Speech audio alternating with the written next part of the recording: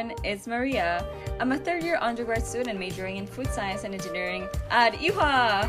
Today I'm booked and busy, so come with me as I show you around a day in my life as an engineering student here in Korea. Today I'm gonna be starting my day off by going to get some coffee and doing a quick study session. Let's go!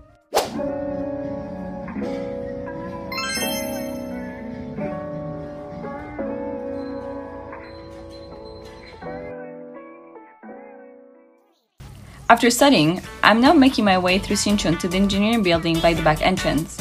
I have my biomolecular engineering class at 11, so let's head over to the building!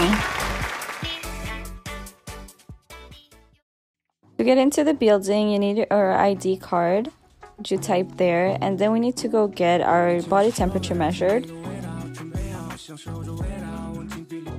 So here on the left, you can see there's these little bracelets so after you get your temperature measured, you can put them on your wrist and go to class. The bracelets are here so that everyone knows that we actually got our temperature checked before going into the building. So now I'm getting ready for my next lab course, which is food microbiology lab. And of course, we need the protective lab coat.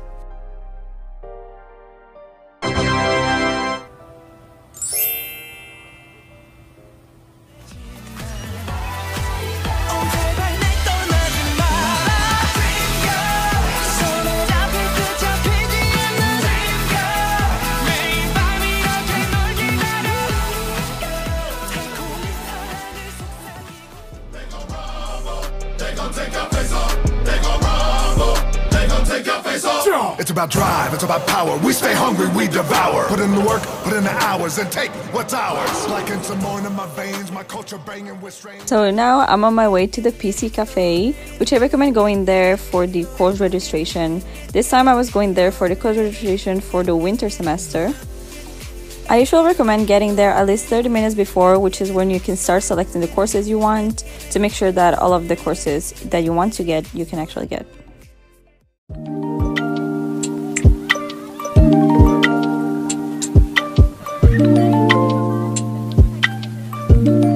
So now I'm going to the study room and to be able to take one of the seats, you need to first reserve it in this machine. So you select the room that you want to go into and check which of these seats are available and you select it.